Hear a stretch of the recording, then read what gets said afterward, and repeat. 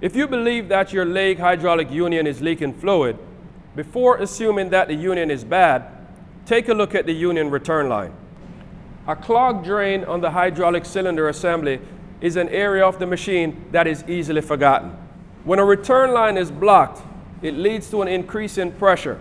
This pressure can build up in the union and cause a leak. Now, a small amount of oil seepage is normal.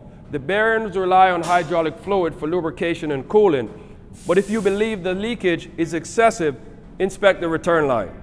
Let's take a quick look. Remove the fasteners from the left front panel and remove the panel. You may need some help to remove the panel. It's not heavy, it's just a little awkward. This is the return line. First, check for obvious cause of blockage and look for kinks or sharp corners in the line. Next, check the union itself around the return line threads and make sure there are no damage or crack of any kind. If you find a blockage or your return hose is damaged, you can get a replacement on HaasCNC.com and thanks for watching.